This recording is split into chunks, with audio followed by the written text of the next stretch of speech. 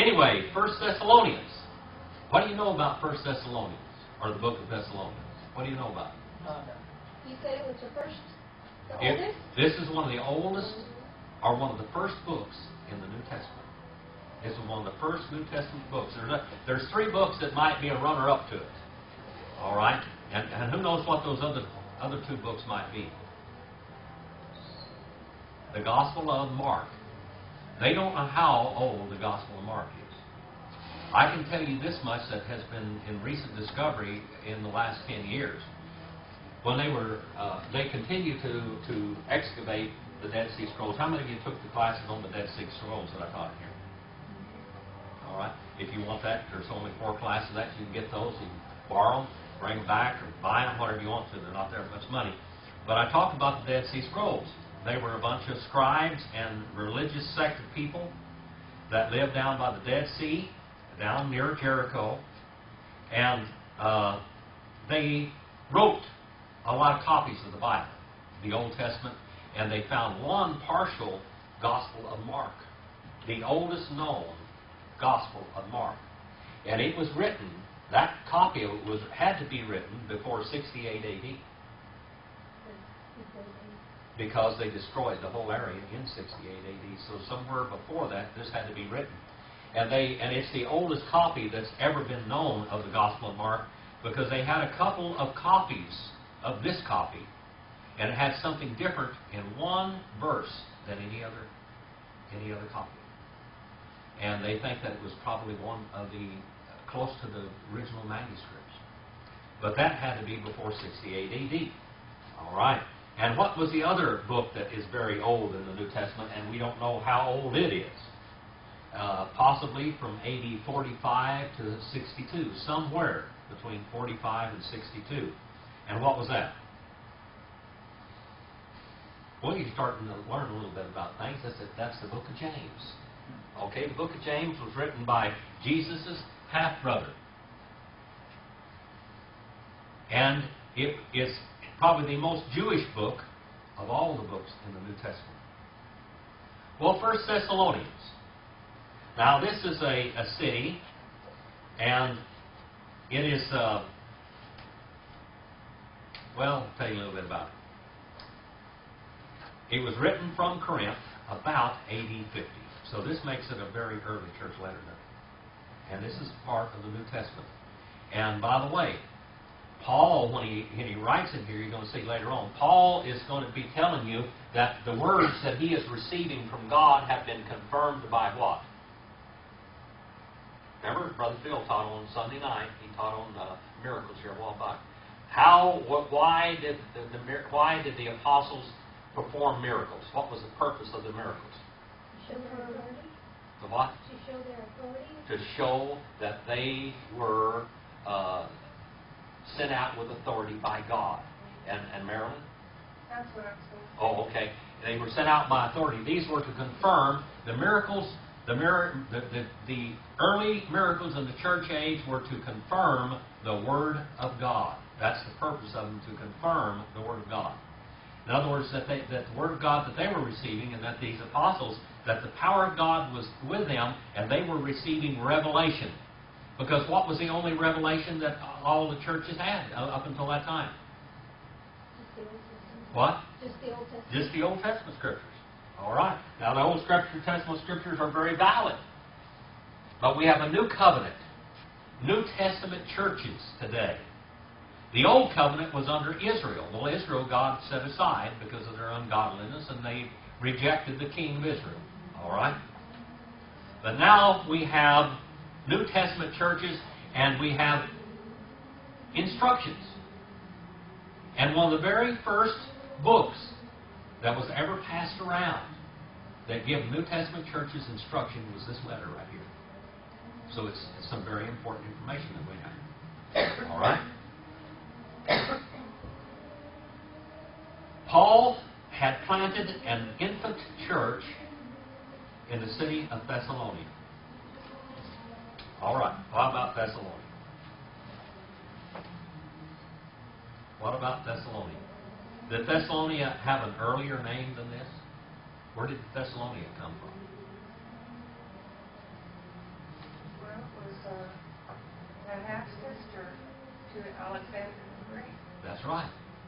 The old name of this city was Thermite because they had hot springs. You ever heard of California hot springs, desert hot springs, all that kind of stuff? This is a kind of a place because there were hot springs there, and it was called Therma. In Greek, that means hot. Therma, thermos in English. Okay, we get that word therma. So it was called Therma, or the hot spring area. After, uh, in about 315 BC, before Christ, this city was renamed Thessalonia, after Thessalonia, that's Alexander the Great's sister. All right, that's how it got that name. That was a very rich city. It was a city of about 200,000 people when Paul went there. Now, Paul basically didn't even try to preach in little cities. Did you know that? There was a reason behind it. It was a very scriptural reason. When Paul went into any new area, he went to the biggest city that he could find to preach in. He would preach in that city and there would be converts made. He would baptize those converts by the church. Well, he was sent out by the Jerusalem church, basically. He would baptize these converts and he would form a New Testament church. Now, there are some groups of Baptists in the world that do not, well, let's put it this way. They start missions instead of churches so they can get other churches to help support missions. You'll never find in the Bible where any mission is started. Missionary pastors are sent out, okay, but no missions are started. They are they are founding churches. Now, there's a lot of controversy over this, but uh, just when it gets down to the black and white and the scriptural way to do things, you don't go out and establish missions, you establish churches. That's, What would be the difference between a mission and a church? well, to tell you the truth, I can't find any reference to a mission in the Bible, but that's not what some people are doing. I But I mean, mean, when they establish a mission, what nowadays, what what, what, well, what usually these groups of people, and it's usually little um, independent Baptist groups, and they go out and they establish a mission. And that mission is under the wing of a New Testament church someplace. And they send and they pay for the pastor, and then other churches will, in a uh, cooperative effort, support the pastor so he can build up the mission until it can become a church. But you show me in the New Testament where they established any mission, period. They established churches, well, and this was an infant church right here. And Paul established a church, not a mission. Okay? And that's an unscriptural way to do things. It's kind of, I don't think it's any worse than taking alien immersion or open communion, to tell you the truth. from Catholicism maybe? Because they had missions. Yes. Catholicism does do that. Now, Catholicism does start missions, but of course, Catholicism does not go by the Word of God either. I mean, they don't establish, that's dogma. Well, let's go on and look a little bit more. And this was about AD 49 or AD 50 when Paul was here. Now, he planted this infant church, church, not mission, in the city of Thessalonica. But he had to leave it. This church was uh, Paul's, one of Paul's most fruitful early endeavors. Now, turn with for me, somebody that has a New Testament, and turn to Acts the 17th chapter. Acts the 17th chapter, because this is where the history. Now, what the, the book of Acts is called the Acts of the Apostles. I don't like to call it the Acts of the Apostles. I like to call it the Acts of the Churches. All right? The Acts of the Churches. It's boy, here's my star student right here. I got to have him down here in front. Young ladies, good to have you here. Late or not, it doesn't make any difference. We're on First Thessalonians, and we're studying the history of First Thessalonians. And don't forget to stay afterwards and get your tapes from last week either. All right? Well, Acts 17, 1 through 10. Who has Acts 17, 1 through 10? Brother, do you have that? Can you read that loud for me? Now, when they had passed through, and I can't read those words, but uh, they came to Thessalonica, where, Yeah. where was a synagogue of the Jews. And Paul, as his manner was, went in unto them, and three Sabbath days reasoned with them out of the Scriptures. All right. Now let's stay right there for just a moment. I want to, to translate something for you correctly. Okay? Uh, um, the word Sabbath Now, the Sabbath is the last day of the week. What day is the last day of the week? Sabbath. Saturday. All right. The Sabbath has always been on Saturday. The Sabbath is not on Sunday. It's Saturday. But there's two terms. It's Sabbaton in Greek. All right. This word Sabbath or Sabbaton in Greek means also a week. When you when you complete seven days, you now have a week. So it's called a Sabbath week. So so write down someplace in the column there that this is one week. All right, one week. The Sabbath is a week long. All right, that means seven days also. So how long did Paul preach here? Three weeks. Three weeks. That's now that's a better translation of it. Okay, three weeks. Three weeks. Now you have to realize the Apostle Paul was not a lazy preacher. A lot of lazy preachers only want to preach on Sunday morning. Preached every day. Well, he his main day was Saturday morning. All right, but uh, he preached every day in the city, and when he made these converts, and he got up in there and was making converts, now he would preach to them as long as he had breath. My wife says I talk too much. Talk all the time. Well, I tell you what, God doesn't talk, it doesn't get quiet people to preach for him.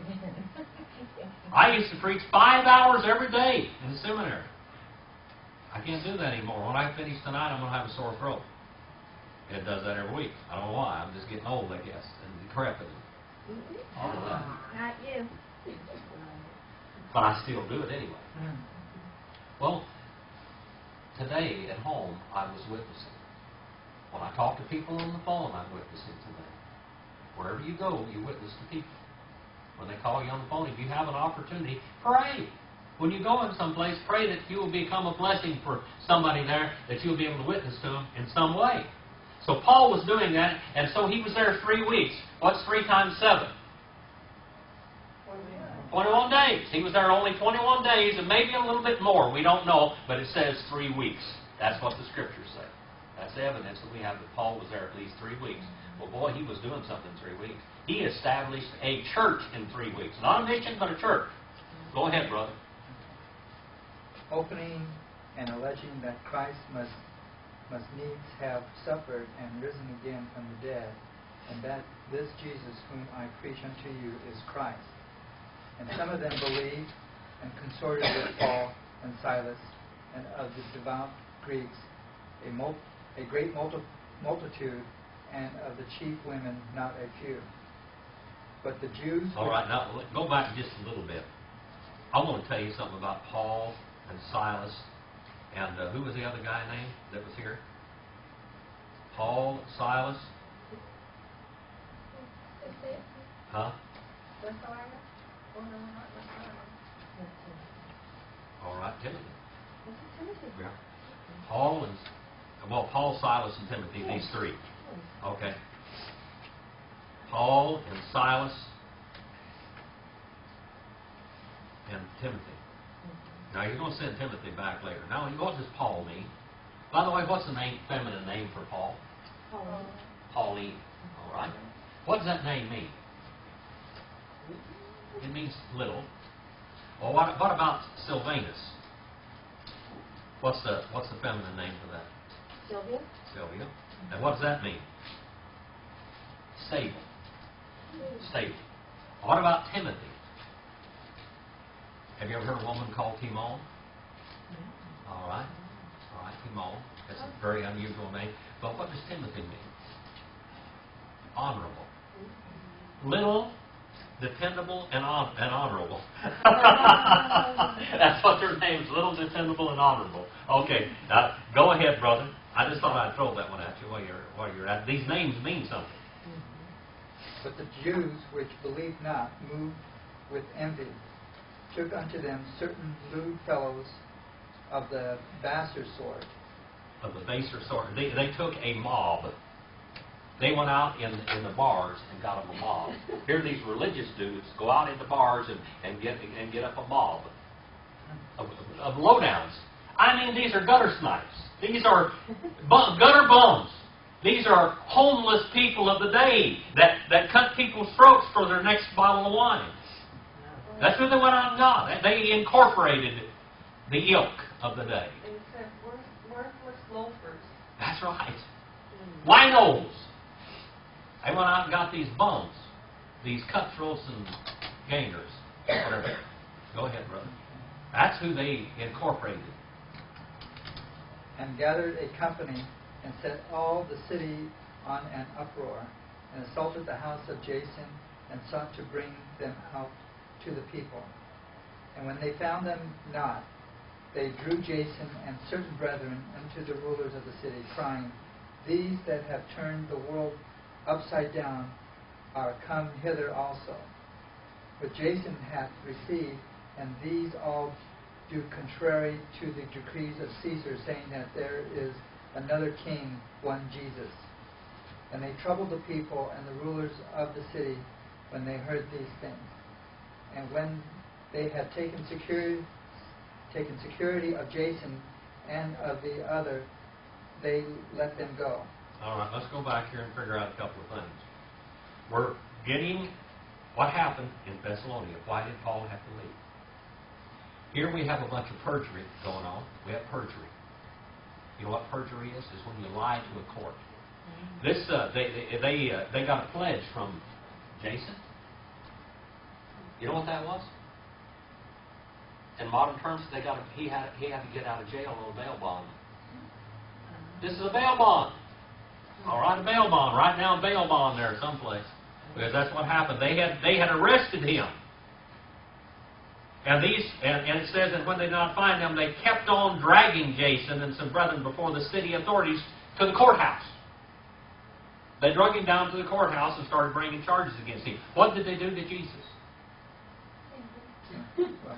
Same story, wasn't it? All right, here we exciting trial here now. A trial made up of absolutely nothing. They accused Jesus of being the king of the Jews, didn't they? What did Pilate write over his head? King.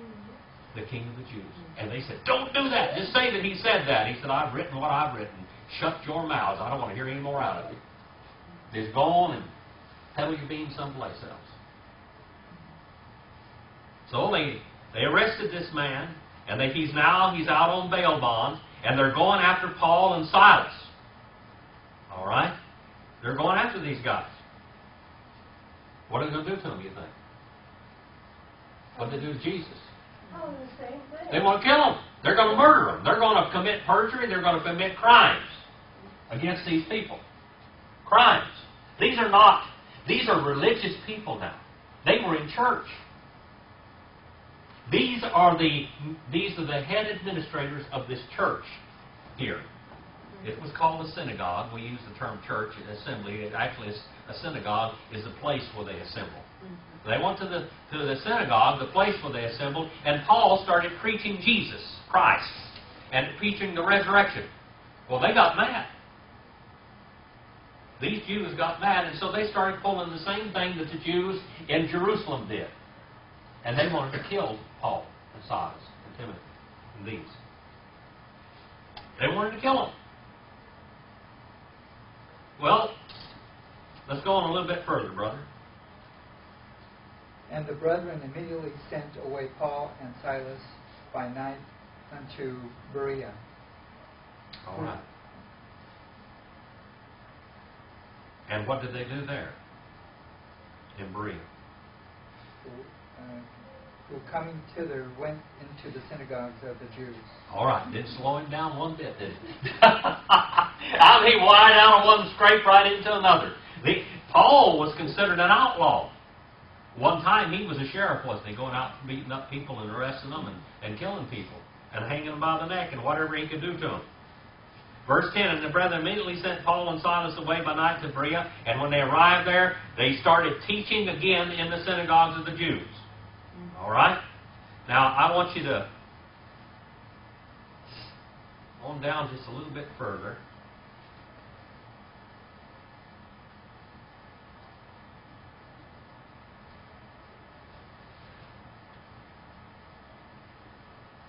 All right. Now, guess what happens when he goes to Berea? Well, let's go 11. Now, there were many noble-minded me, noble-minded men, uh, more noble-minded than those in Thessalonica, for they received the word with great eagerness. Now, these Jews did, examining the Scriptures daily to see what these sayings were so. actually kept on being so. Many of them therefore believed, along with a number of prominent Greek women and men. And when the Jews of Thessalonica, look at that, when the Jews of Thessalonica found out about the word of God had been proclaimed by Paul in Berea also, what did they do? They came there likewise agitating and stirring up the what? The mobs again. Mobs. Talk about it. these people are intentional thugs. Intentional thugs. And then immediately the brethren sent Paul out to go so far as to see, and Silas and Timothy remained there. So here we have another thing. Paul has to leave again because they're going to, these Jews are going to kill him. Hmm. So that's the settings that we have here in 1 Thessalonians. That's why Paul left this church so quickly. How long did he preach here that we know about from the Scriptures? Three Sabbath weeks. All right, maybe a little bit longer. We don't know. All right, let's go on a little bit more. Paul's early departure from this little infant assembly exposed them to persecution from without. Now, I want you to remember this. This is the way God's churches are attacked. This is the way God's churches are attacked. There's persecution from without and heresy from within. Think about that for just a little while. That's the fifth column, isn't it? That's infiltration. Now, how many of you ever heard of the KGB, the CIA, the FBI, and uh, the SS troopers and, and all of this? These are all uh, uh, what we call covert operations, secret espionage. Do you see any espionage here in Thessalonica and in Berea? Do you see these uh, sneaks sneaking around and, and uh, uh, seeing what they can get into? You know, I went to school down at the California Missionary Baptist Institute with a man that went down there. Uh, I want to, I tell you what, there's espionage among us always. Now that that school was a very, very orthodox school, probably one of the most orthodox Baptist schools in America that's ever been, probably. There was a guy that went down there and went to school, and he had a wife and children. He surrendered as a missionary in one of the churches down there. I believe it was Anaheim Church where Brother Madden was. He surrendered to preach in that school, and he went to the school for five years. I think he at least got a master's degree. And he went out into, guess, if you were going to, back in that period, this is the 60s and 70s, if you had wanted to send a CIA man, where would you have sent him? Colombia. The drug money. America has a has financed many, many covert operations by drug money. And this is one of the men, believe it or not, this is one of the men. I went to school with a man. And Brother Hubbard's Bible that I have that his, his daughter gave to me when he died, his name is in that Bible. That he signed. That man went down in Colombia and, and, and, uh, and was in the CIA. All the time that he went to school, he went to churches all over the, America, making speeches and getting support. And he went down there, and there was a lot of people saved under his ministry. Mm-hmm. But several years later, he just went haywire. He took off and did all kinds of crazy stuff.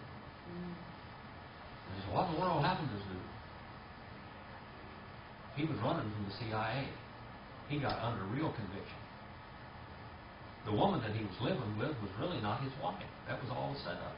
It was all a double life. It wasn't his wife. they got under conviction. Somehow or another, along the trail, he got under conviction. And he was saved. And he run back up to Brother Madden. I remember Brother Madden talking about him. He come up there and he said, you know, can you imagine this big dude here, wherever he is up here, this monster? I'm standing on the six-inch step beside him, and he's still a foot taller than me. What are you doing? What's wrong with you? He started crying. He said, He said, I heard you got married down there. Did you have a wife? She wasn't my wife. He started telling him the story, and he said, Boy, I want to tell this guy. They're after to kill him. I mean, he's running from the CIA now.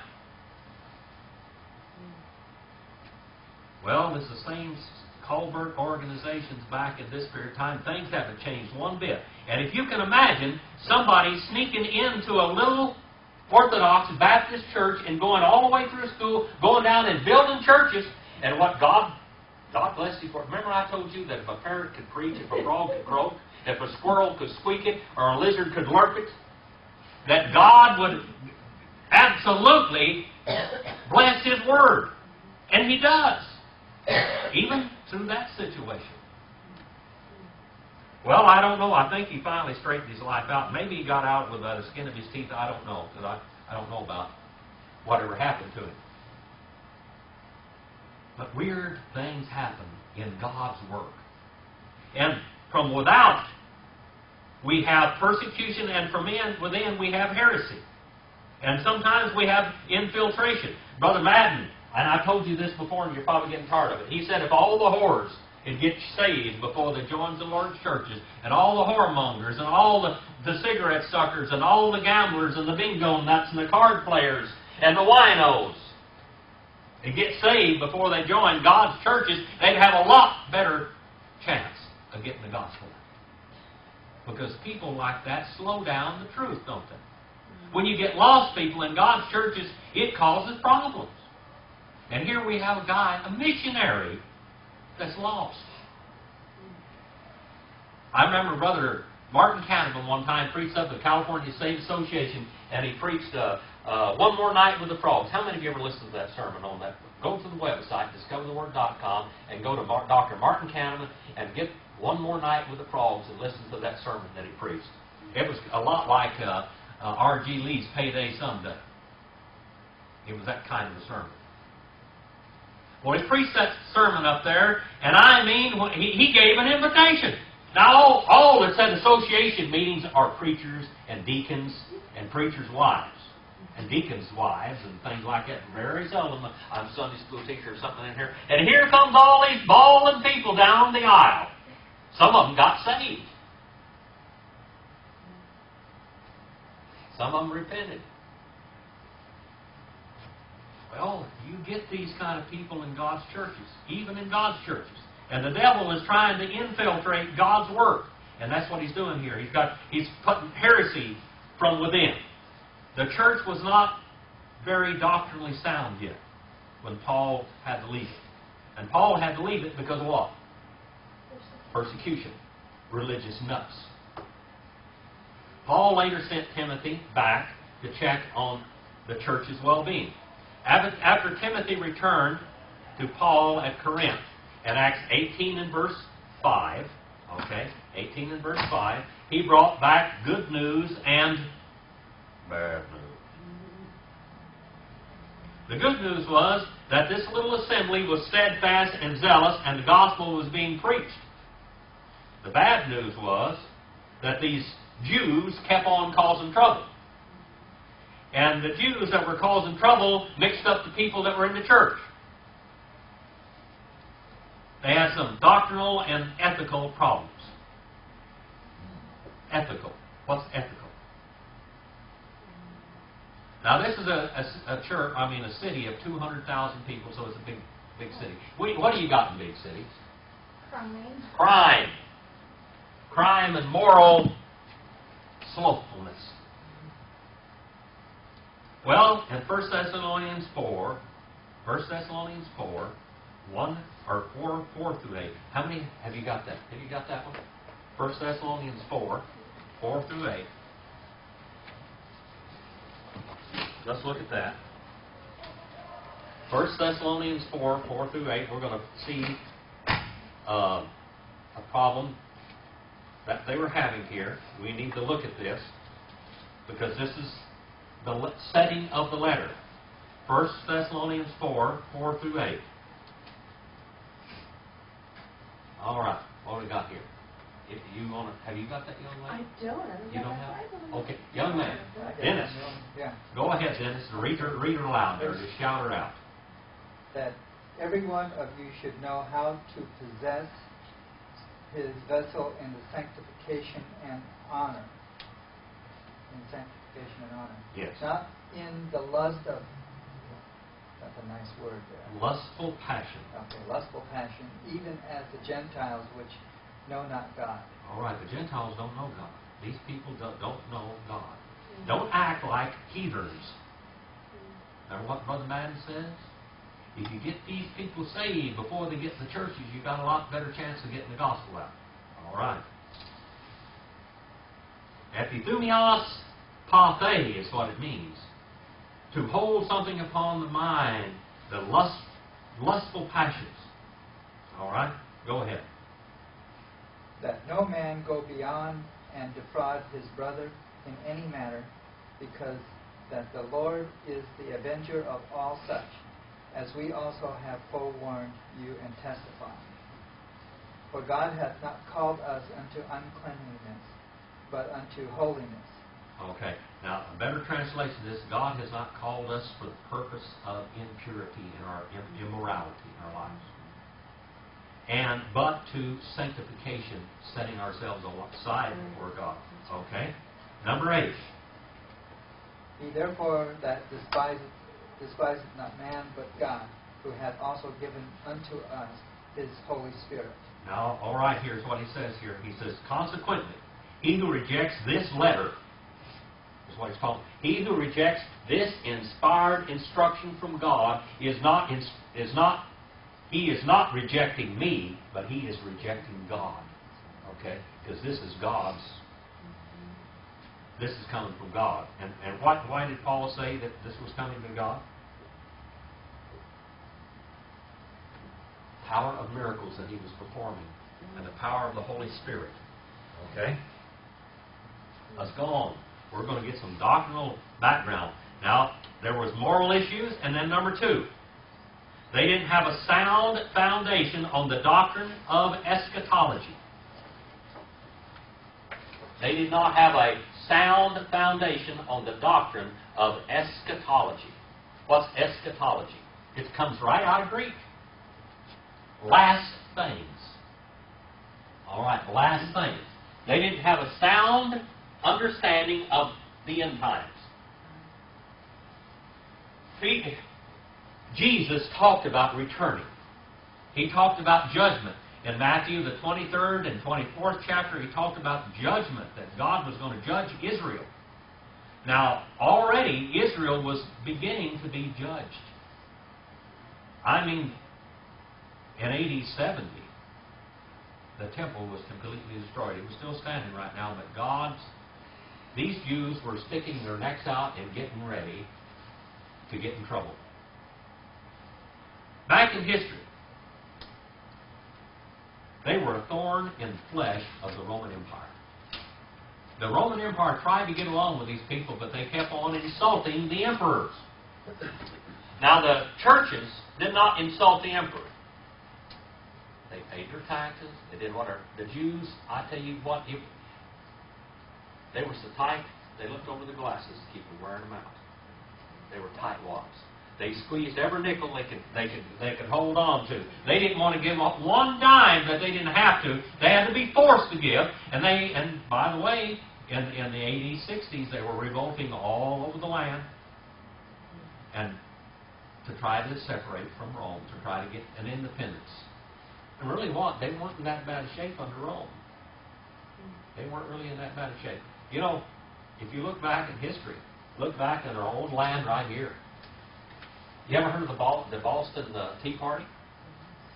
That's when some of the some of these people over here on this side of the water uh, got all excited and they dressed up like a bunch of Indians. You know, they were always blaming things on us Indians. They dressed up like Indians and and, and burned the ship up and and uh, threw all the tea in the in the water. And that's what they called the Boston Tea Party. You know why they did that? Because because England was going to charge them a tax on tea. Now what? I'll tell you what. We got taxes on everything. They even got a tax on sin, they say. That'd be all right if it's really taxed. I mean, there's taxes on everything today. They had a lot better under under England at that time. Well, the Jews never wanted to bow down to anybody. They wanted everybody to bow down to them. But God was setting them up. He was setting them up to be dispersed throughout the world. He allowed them to have wicked hearts, greedy hearts, so on and so forth. Now, this early little church thought that those that had died and gone on to be with the Lord before the rapture, we look, we're going to look at the word parousia. Parousia. Parousia. Parousia comes from two Greek words, para and ousia, or para, and if you go all the way back, it's para and eimi. Epsilon, iota, mu, iota. Okay? It means beside to be. Beside, para, to be. All right? Beside being in its participle form here, basically. A proverbial word is parousia. It is beside coming. Now, when Jesus comes back for his people, he's not going to it's not going to be a big battleground or anything else. He's going to come back and he's going to, to rapture all of the saved. They're going to just disappear off the earth. And before, just before that happens, he is going to open up the graves, and all the dead people are going to be rising. And when they get up about six feet tall, then the saved people, uh, the, the live people, are going to be raptured also. So this takes place at that time. Now, these people did not understand that. They thought that, that the dead in Christ were going to be some way disadvantaged over the saved people, and that's what we know. And this, by this letter, this first New Testament letter probably, this tells us about the rapture, which half of Christendom will not even accept. You talk to the Church of Christ, or you talk to Presbyterians or uh, the covenant people about the rapture of God's churches, and they go, oh, I don't believe in that. The first New Testament letter was written about the rapture. They haven't got to kindergarten yet. If the first New Testament letter was written about this, then we ought to pay some attention to it. First Thessalonians 4, 13 through 18 tells us about the rapture. And we're going to get that when, get to that when we get there. Now, these young Christians were being perjured and accused of, of committing treason against Rome by these Jewish lawyers that were going to the courts.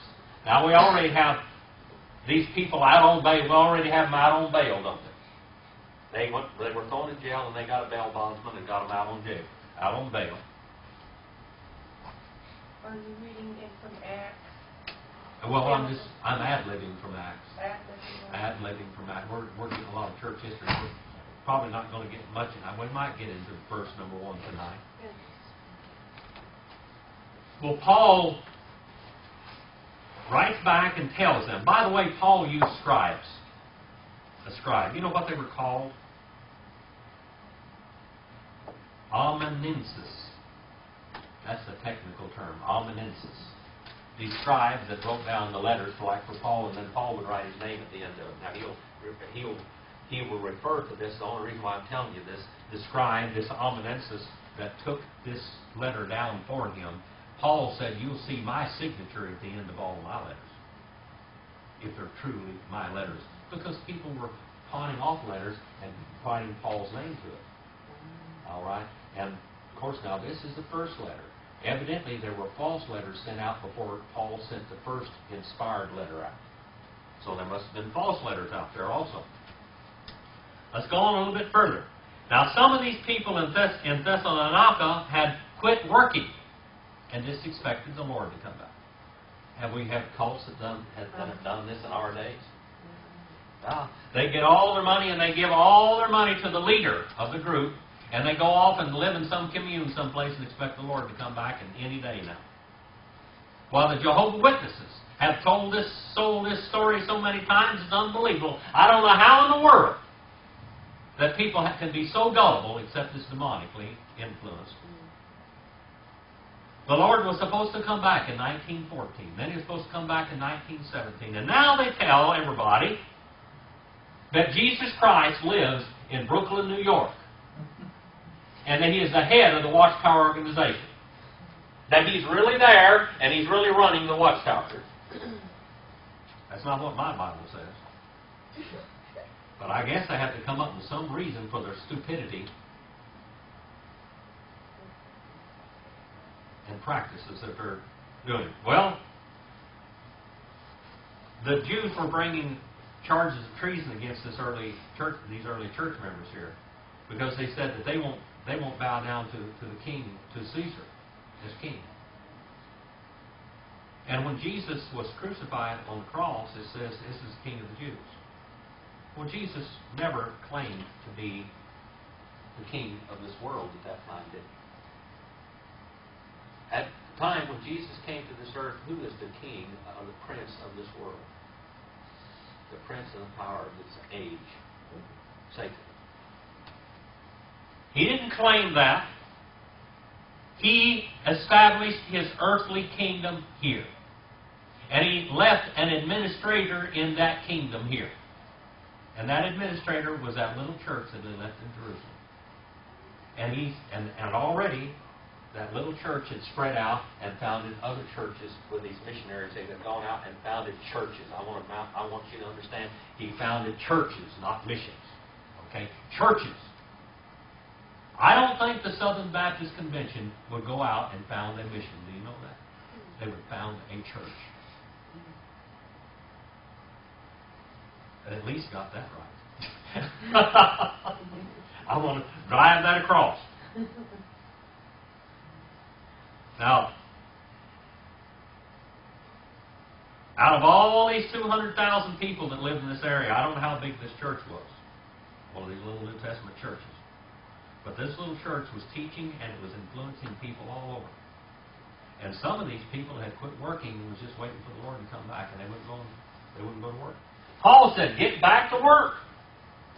Live your day, live every day as if the Lord's coming back today.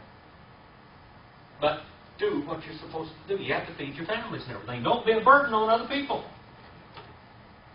Paul tells them, I wasn't a burden on you. I was a tent maker while I was there for three whole weeks before he got ran out of town. Well, in this letter, he straightens out all those problems. Now let's go there to, to 1 Thessalonians 1 and 1. Hina, Hina. Yeah, 1 and 1. Pros Thessalonic, Thessalonicae Alpha. Pros Thessalonicae Alpha. That's what it says up there, the title of it. Paulus, Kai, Silvanus, Kai, Timotheus, Te, Ecclesiae, Thessalonakon, Theon, in, Theou, Patri, Kai, Kyriou, Esu, Christo, Charis, Hemen, Kai, Irene. That was an easy verse, wasn't it? You said those those words so well. They were getting big. Paulos, Kai, Silvanos, Kai, Timotheus, Te, Ecclesia, Thessalon, Thessalonikion, and Theou, Patri, Kai, Curio, Esu, Christu, Charis, Amen, Kai, and. It's a beautiful verse. Paulus, small guy, and faithful guy, and honorable guy. All right, that's the, that's what the names mean. Sylvanus, the uh, that comes from the word wood or tree, a sturdy being. Okay, Sylvanus, and Timotheus, the little, the strong, and the faithful. To the church, to the ecclesia, the ekkalio. Turn this one over. To the ecclesia. To the ecclesia, the, the assembly. That's how that, that term should be translated. To the ecclesia, to the, to the assembly. To the ones called out. The local visible assembly meeting in this place, in this city. this church. The word ecclesia came from an old Greek word that was, that was well known. Every city in the Roman and in the Greek Empire had an ecclesia in it, which was the subpoenaed, called out rulers of that area. They were the ones that were elected. And we are going to look turn in, we're going to look at the word election here also. God elects us. You're going to see two terms. Yes, Mary. Uh, So an ecclesia could be two or more. Where there are two or three gathered together in my name, I'll be with you. By, in my authority, I'll be with you. Any New Testament church anywhere in the world, you don't have to have 400. Any New Testament church, any place in the world, two or three people gathered together in the authority of Jesus Christ, he said he would be in the midst of them. All right, to the church, to the assembly belonging to the Thessalonians. All right, to the Thessalonians. In God. Who does it belong to? In God. It's founded in God. It's founded by God. It's founded through God. It's founded upon the rock, which is Jesus Christ. And then it says, in God the Father. God the Father. In God the Father. Now, it doesn't say the there, but it, that, that's what it means. You can put that in there. Because there's only one God, the Father, isn't there? That's right. and one, the Lord Jesus Christ. And it uses the whole title of Jesus, doesn't it? Kyrio Jesus Christou. Kyrio, Jehovah. The word Kyrio means Jehovah. That's Jehovah God, right there. Kyrio. Kyrio is the anointed one. It is the God that would become flesh, John 1 and 1. In beginning kept on being the Jehovah, and the Jehovah kept on being an inseparable part of the Godhead, and the Word, or the Jehovah, kept on being God. And then it says in John 1 14, Kai ho logos sarx. And the Word, the Jehovah flesh, became. Now that ought to make it real straight. You know, if I was a Jehovah Witness, I'd throw away the Gospel of John. I'd throw away 1st, 2nd, and 3rd John, and I'd throw away the book of Revelation. Well, the Muslims do that. The Muslims say that they believe the, the Bible, the New Testament, and the Old Testament, where it's correct. Except that they don't accept the Gospel of John. They don't accept 1st, 2nd, and 3rd John. They don't accept the book of Revelation because they said John wrote about Jesus as if he was God. At least they have enough sense to believe that. Because John did write about Jesus. Matter of fact, you're going to have to get rid of, through, finish, I mean, you're going to have to throw off the book of Colossians too.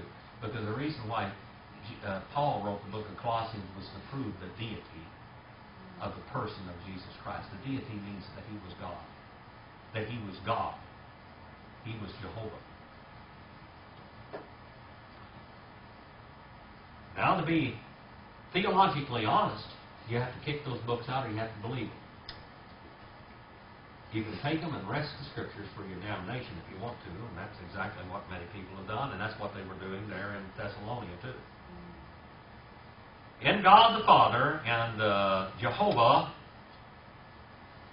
the Lord, Jehovah, Jesus. This word Jesus, how should it be translated there? How should it actually be? What what we got the word Jesus or Jesus. That's the Greek name for what?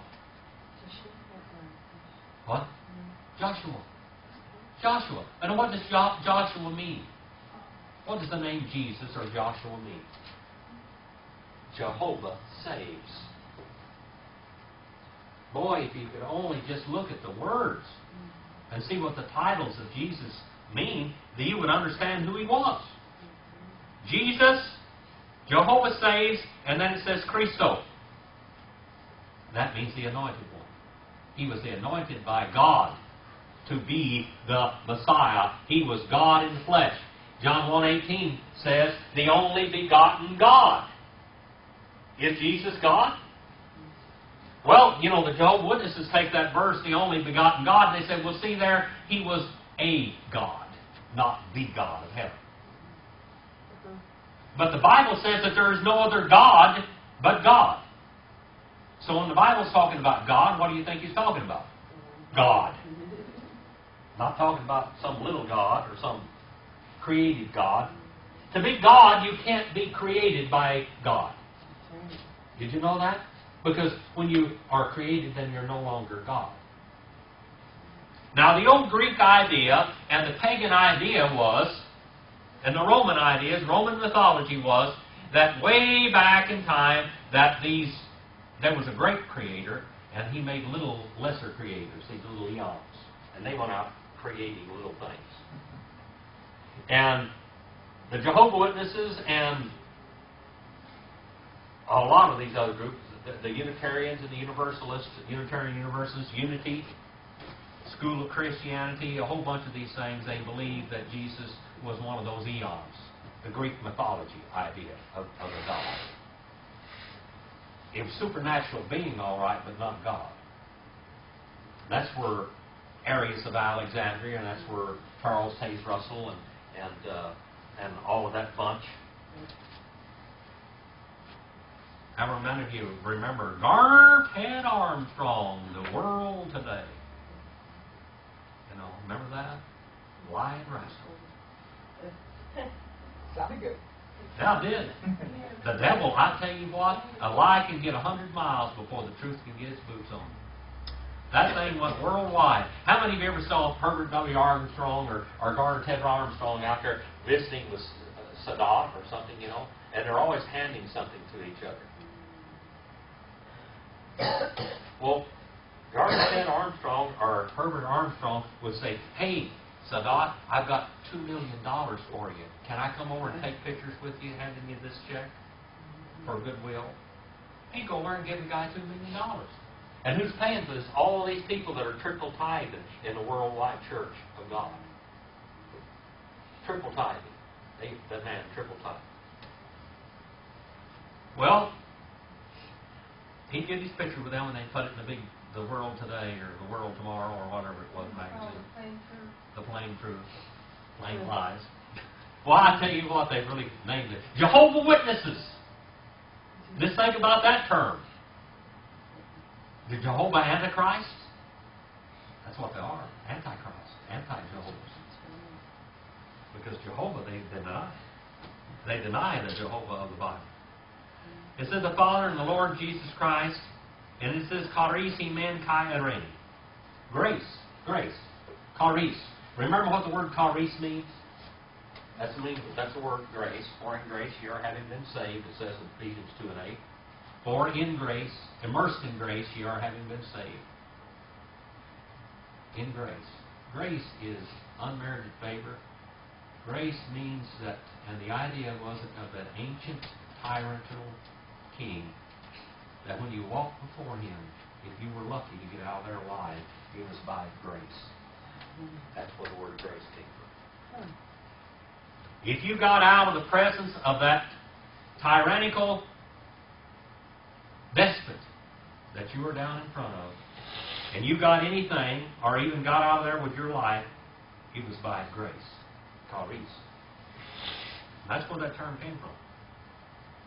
Grace, unmerited favor to you, to ye. This is an Oklahoma term. You know, I, I don't even think I talk good Okie anymore. I have to listen to Okies on the radio or something, and, and then I can copy it again and start sounding like Okie. But uh, they say you, you all, you all. Except when they're talking to you all, they may be talking to one person. Hey, you all. Well, this term here, this is second person plural. This is dative plural, second person pronoun. And I think really the way it could, should be translated grammatically correctly would be you all, or ye in Old English. In Old English, when I was talking, when you were talking to one person, they would say you. But when they was talking to a crowd of people, they would say ye all. Mm-hmm. All right? Well, this term should be translated ye, because this is plural. All right? Plural. And then it says grace to you, and then it says kai and ereni. The Hebrew equivalent for ereni is shalom. shalom. How do uh, how do Jewish people greet each other? Shalom. Shalom. Peace. And you'll find Greek people greeting each other. Erenisi. Eren. Eren. Eren. Well, here we have the term. We have a greeting term. Grace to you, Charis, Himen, Kai, Eren. Shalom. On page 575. I'm going to write that down for future people. And you write that down in your book too, page 575. And Bullinger's concordance, he puts down Irani and he puts down Shalom in there. And he said the and Shalom is the absence of all grief. Total peace. Absolute serenity. Touch yourself right there, right now. With-. Just, they used to tell me, you know, when I was going to school and I was taking psychology in school, they had these relaxation creep. They that, that in relaxation, you know, you would you would you would relax. Now I'm trying to explain shalom and rainy to you. Now sit there. Now you have to get your pistols out of your hands. Just lay your hands out there on your sides. Just you can't hold on to anything. Just lay your hand there. Now try to let your arms fall. Just let them fall. And relax every muscle in your body.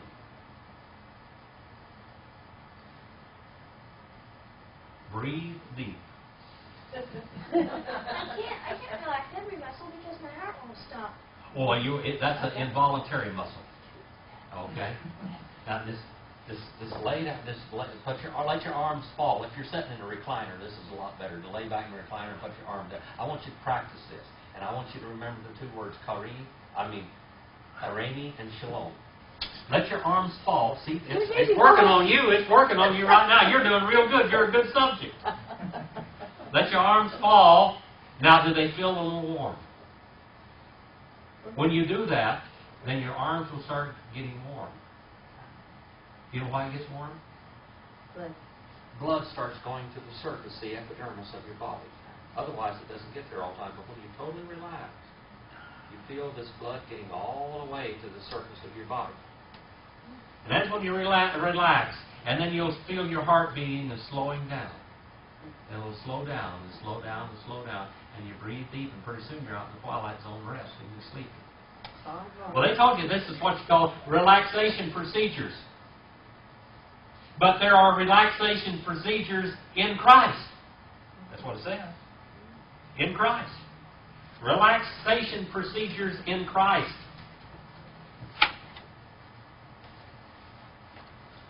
Relaxing in Christ.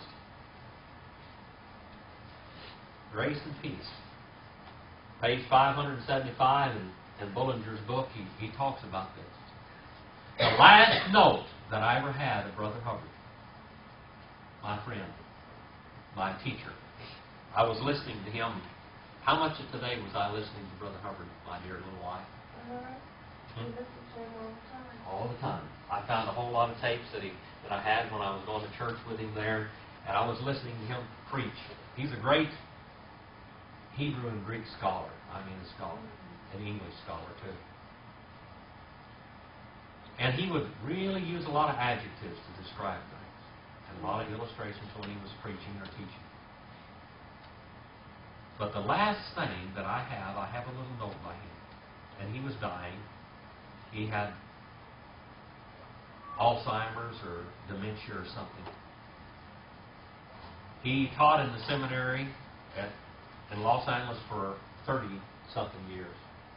He taught in the seminary up in Riverbank. He taught in the seminary in Little Rock, Arkansas. And he taught up in Fresno for about 25 years, which means over 60 years he taught in seminaries. When he was very old, he would go by my house on the way, and he would stop in, and I, he would use the restroom, and he'd go and drive all the way from Lancaster to Fresno. Hmm. We'd drive up there on Sunday night and then come back on Wednesday.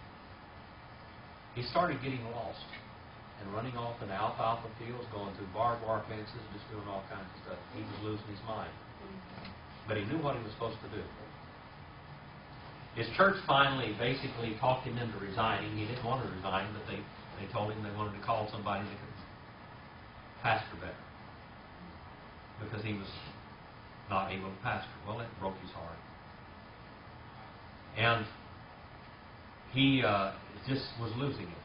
And I tried to talk to him, tried to meet with him, everything. He'd get lost. He, we couldn't meet anywhere. I was living in Nevada at that time. Finally, his daughter came and picked him up. He'd been going up to the school and teaching Greek and Hebrew and English, still in Fresno. He didn't know where his cl- classroom was. They'd have to get him by the hand and take his books that he was supposed to have and lead him to the classroom and set him down at the desk. And once he opened his book, he was fine.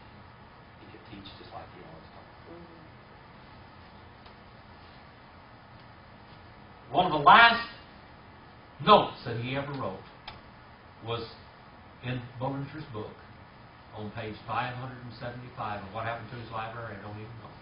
Nobody knows where his library went. But I got his Bible.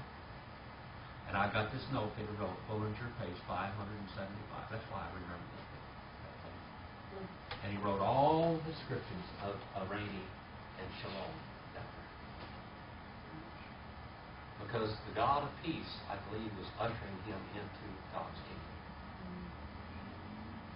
He was ready to go home. I talked to him the last time, and, and Brother Hubbard, I, I called him and I said, Brother Hubbard, what are you doing? He said, Oh, I said, I'm tired.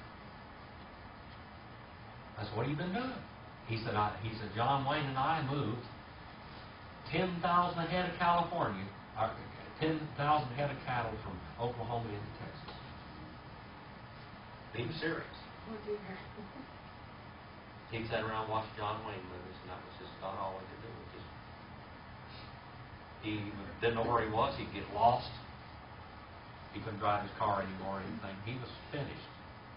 He had run his race. But he wrote down eirene and Shalom. And all the descriptions of that peace that they give that's found in Jesus Christ. He knew where he's going. Well, I'll leave that with you tonight. That little lecture from him, that little piece tidbit. I should have brought that note in his Bible tonight. Because that's the way I wanted to end this lesson. Peace I give to you, Paul said to that church. Peace and grace.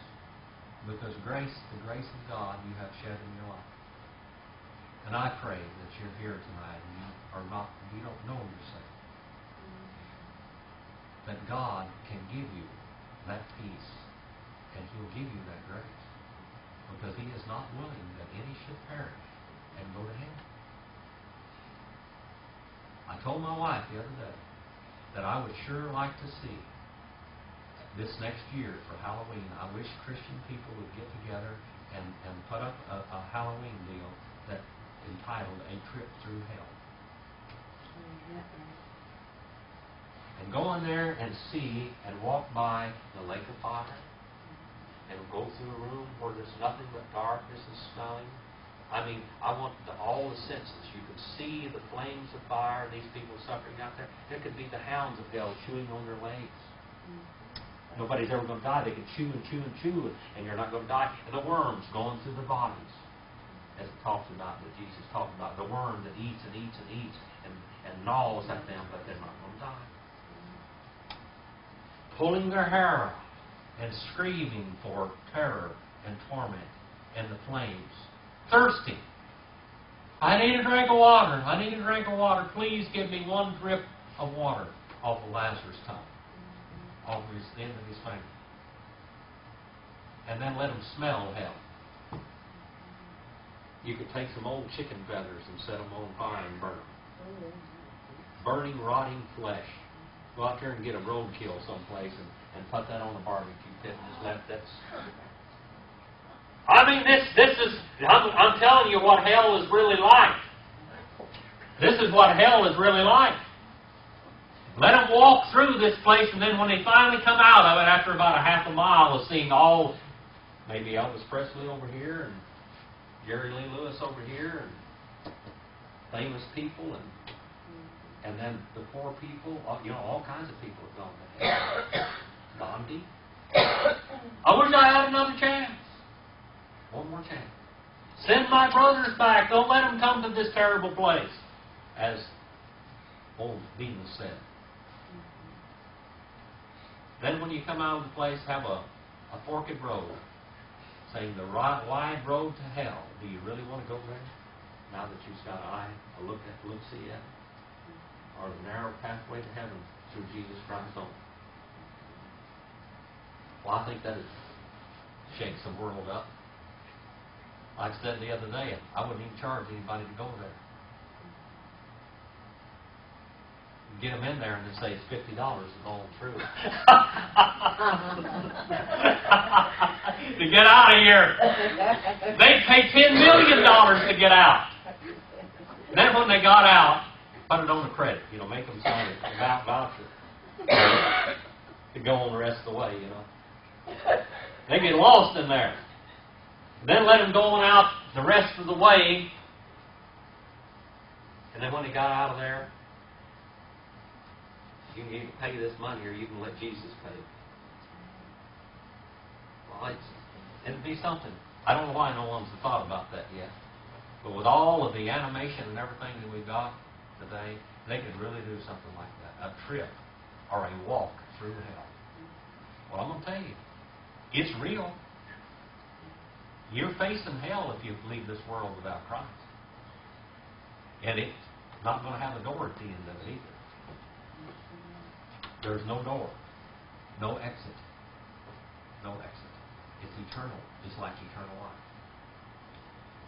Man was made and created to be an eternal being. You're either going to spend eternal life in two places with God or in hell. That's it. Father, thank you for your word. Apply it to our hearts. Forgive us for your family. Help us to witness for you every day. Help each and every one of these lessons that, that go out on camera, on video, audio, CD. Help them touch people's lives. Help them to teach. And forgive me where I failed. Help me to, what left, life of mine I have left, that let it be for you. In Jesus' name I pray. Amen. If you did that, I could advertise it in my newspaper. Oh, that's great. You tell what you We need to do something like that someplace, don't we?